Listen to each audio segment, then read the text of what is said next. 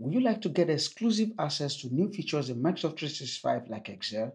You need to be part of the Microsoft 365 Insider program and turn on the beta channel.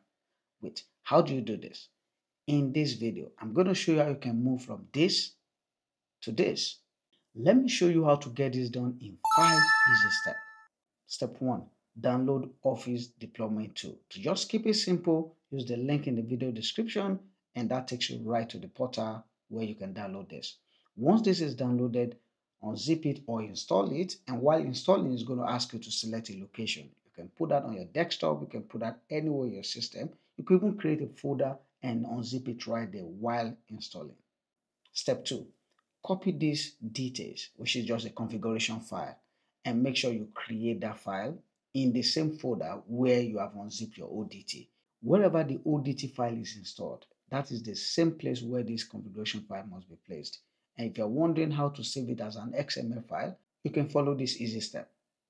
Create a new TXT file, paste the content there, click on File, Save As, and while saving, just leave it as a general file or files, but in the name put configuration.xml, and that just turns it to an XML file. Step 3. In your Windows search menu, type CMD. Run it as an administrator. So it's expected that you have an admin right on the machine you're trying to do this. Once it opens up, navigate to the directory where your ODT is unwrapped or installed. So if it's a particular folder, you can do CD and change directory. Let's take this as an example. I have mine on the desktop. As you can see right here, this is how you can actually get the directory. So if you copy from the address bar and paste right there, by right clicking, it's going to automatically paste what you have copied. Voila is copied and pasted. When you press enter, your directory has changed to this location.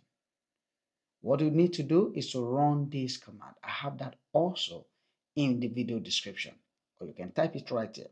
Once you run this command, it's going to pop up and start upgrading, updating your Microsoft Office to the version that can enable you to sign up for the Microsoft Insider program. But when it's done, your system is all set. Step 4 you need to enroll for the Microsoft Insider program. Open any of those Microsoft 365 apps and services. For example, open the Excel, navigate to account, then you're going to see this right there. We now have additional option that allows you to truly enroll. So you click on update channel, then you see I will manage my Microsoft 365 apps. You need to agree to the terms. So I'm going to click on agree and click OK. It's going to prompt me. I'm going to say yes. And what this does is it updates, and it's checking for updates, say, oh, you're updated. If you want to change, you can always come back and change your channel and you go through that same process.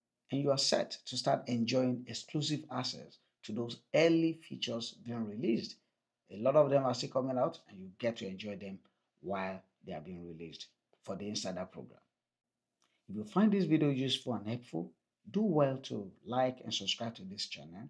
And of course, you can always ask questions in case you're having issues, have some difficulties, and I'll be there to help you. Bye.